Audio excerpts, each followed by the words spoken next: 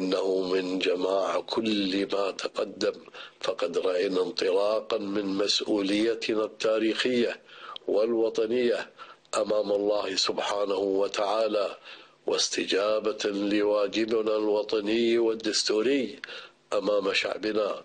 فقد قررنا اللجوء إلى الشعب باعتباره المصير والامتداد والبقاء والوجود ليقوم بنفسه.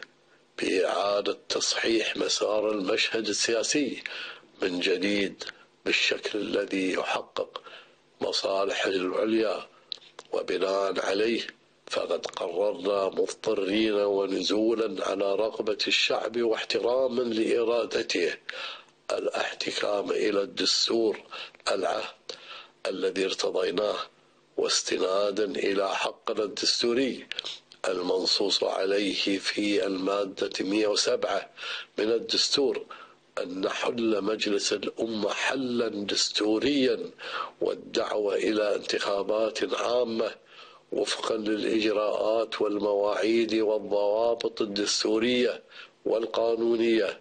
وهدفنا من هذا الحل الدستوري الرغبة الأكيدة والصادقة في أن يقوم الشعب بنفسه ليقول كلمة الفصل في عملية تصحيح مسار المشهد السياسي.